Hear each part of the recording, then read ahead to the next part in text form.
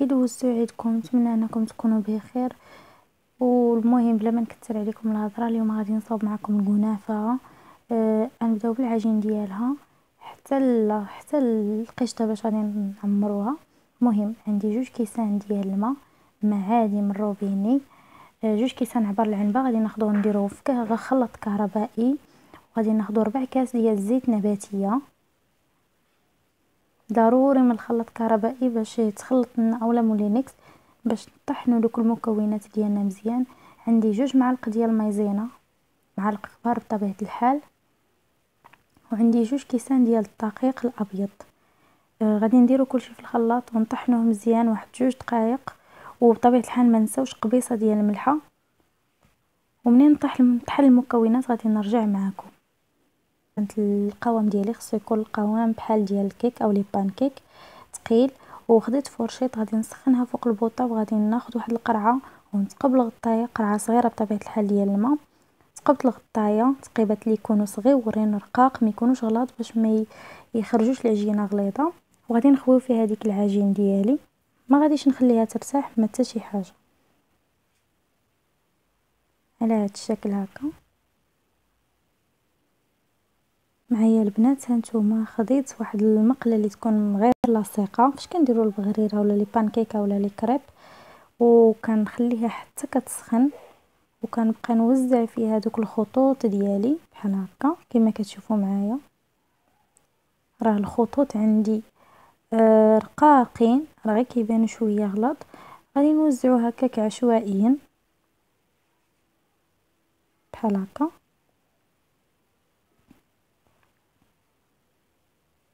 غير تشد راسها وكنحيدوها.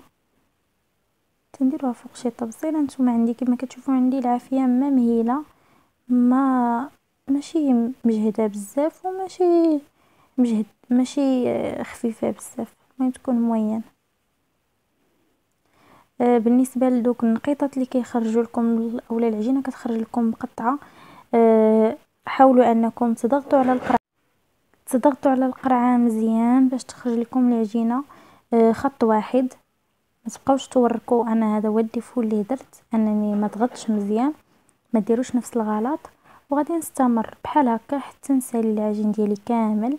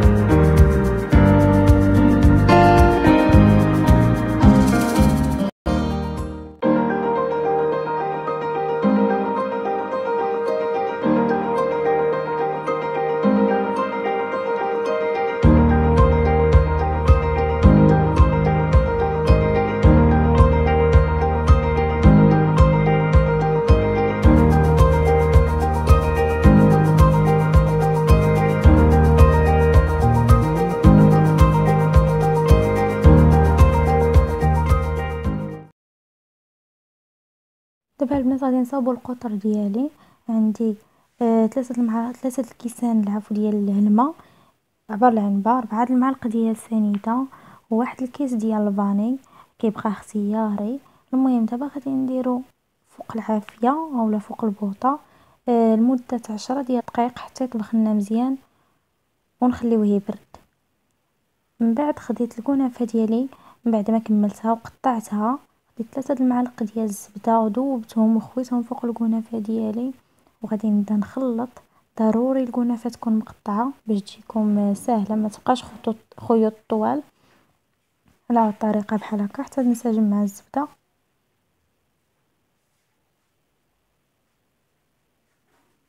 وغادي ناخذ واحد المول. مول اللي يكون مع أي مول عندكم. أنا عندي مول كيتحل. أحسن إلا كان كيتحل غادي ندير فيه ديك الكنافة ديالي وغادي نحاول نثبتها مزيان ونديرها طبقة متساوية.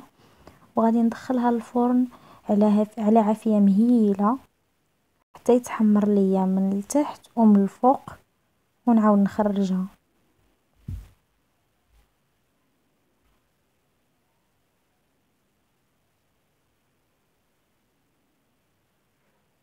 دابا خديت نص ديال الحليب. كامل ما ناقصه منه حتى معلقة. وخديت آه المعالق ديال سنيدة على حسب الذوق. كاين اللي كتعجبو الحلاوة. ممكن يزيد من ثلاثة المعالق. أنا درت غير ثلاثة المعالق. وغادي ندير ثلاثة المعالق ديال آه النشا اولا مايزينا طبيعة الحال البنات معالق كبار. وغادي نخلط مزيان حتى تذوب ليا ديك مايزينا وغادي نديرهم فوق النار حتى يعقد ليا الخليط. ويكون عاقد.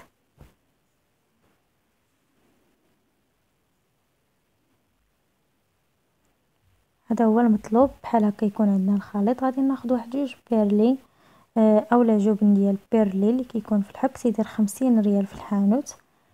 غادي نديرو نضيفو لداك الخليط ديال الحليب ومايزينا والسكر. ونخلطهم مزيان.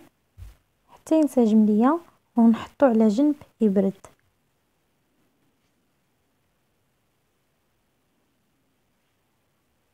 مرات ليا ديك الكنافة ديالي اللي درت في الفران غادي ناخذ ديك القشدة وغادي نوزعها آه فوق ديك الكنافة ونحاولوا ما نقيسوش الجوانب.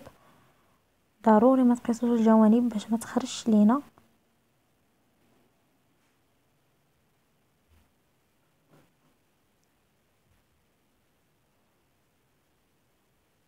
دابا غادي ناخذ ديك الكنافة ديالي اللي قسمت على جوج اللي بقى لي غنديرو الفوق ونحاول نسد به دوك الجوانب اللي خليت خاويين ونحاولوا نثبتوها مزيان. وندخلوها الفران حتى ترجع لينا اللون الذهبي اللي بغينا من الفوق. تعطينا داك اللون وتحمر ضروري تكون عافية مهيلة. باش تجينا مقرمشة.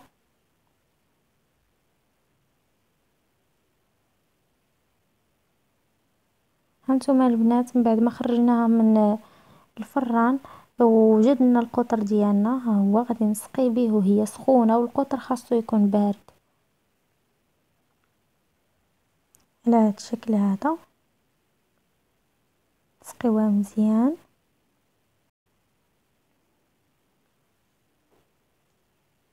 هاد الكنافة ديالي وجدات والتزيين كيبقى على حسب الرغبة. وهذا هو اللي بغينا حنا من هاد الكنافة هذا. خليناها في في الفران حتى عطاتنا هاد اللوين هذا. ونتمنى أنها تعجبكم وتكون في حسن الطن ديالكم. وراها كتجي مقرمشة من برا ومن الداخل كتجي رطبة وزوينة. آه ضروري أنكم تجربوها راه تستحق التجربة. وغادي نحاول نقطع معكم واحد الطريف باش تشوفوا كيفاش جات من الداخل. وما تبخلوش عليا ب les likes ديالكم ولا تعليقاتكم زوينين ولا خايبين. المهم تعليقاتكم كتهمني وعلى الراس والعين. وشكرا على الناس اللي كيدعموني. شكرا شكرا بزاف ومرحبا بكل واحد جديد معنا ونتلاقاو إن شاء الله في فيديو آخر أو وصفه أخرى. و bye bye عليكم.